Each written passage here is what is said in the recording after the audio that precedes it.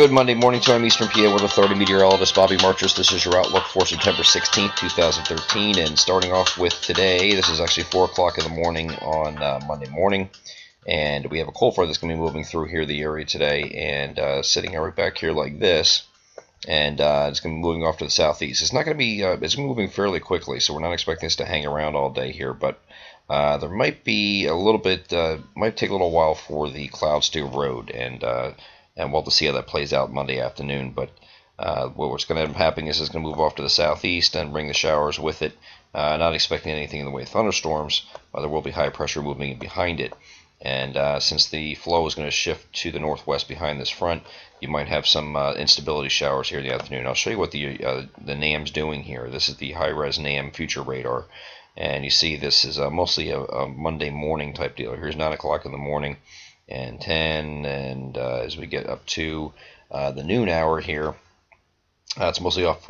It's uh, still some showers still showing here back here by the front here around noon, and then uh, what happens in the afternoon? You get some uh, little pop-up instability showers that may pop up here in the afternoon. You can see that starting to build over here in this area here, and we might have to wait on the clearing on Monday afternoon. It might not come until late in the afternoon or evening uh, these uh, instability showers that may still pop up behind the front. So we'll, we'll, have to play that by ear tomorrow, but right now we're allowing for those showers to, or at least a, a uh, so the clouds to hang around for a little bit longer on, on Monday than originally anticipated. As we get to the European model here, pretty much the same idea here. Here's the uh, look at Monday morning.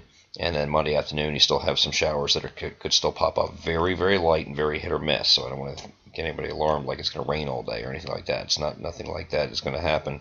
And uh, as we get into Tuesday here, once the front clears the uh, the coast here, Monday night took, uh, starts to clear out very nicely. And then high pressure is going to be sitting right over top of us on Tuesday. So it's going to be a very cool, crisp day again. Uh, temperatures temperatures uh, not getting into the 60s in most locations and uh, except when you get down towards Philadelphia, might uh, stay might, close to 70. But uh, same thing, uh, same thing here for two uh, for Wednesday, but it does moderate somewhat. and then Thursday we have an approaching warm front that's I think is going to stay.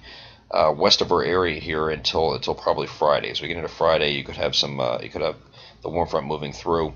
There's another cold front that's going to move back here through the weekend. Now, uh, there's a difference in timing here with this front here. The European model has this coming through a little bit faster, and the GFS has it a little bit slower. So taking a look at the uh, European model first, this is actually Saturday morning, Saturday midday, Saturday afternoon. So this, this uh, according to this model, the European model, Saturday will be the day for the cold front to move through, and then uh, you would have the clouds and showers uh, on Saturday, and uh, that would be the worst day of the weekend. On the GFS, however, it waits till Sunday.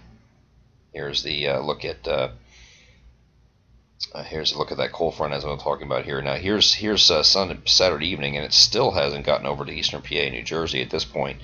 And as we go further in time here, it finally does uh, Saturday night and early Sunday morning. So we'll take a look at that as the week goes on here, see what the timing of that front here is. But it looks like it's basically going to be either Saturday or Sunday that this front comes through, and uh, maybe you'll get lucky and get it on Saturday night when everybody's sleeping, but we'll see. I'm Eastern PA Weather Authority meteorologist Bobby Martrich. That's your outlook for Monday, September 16th, 2013. Have a great day.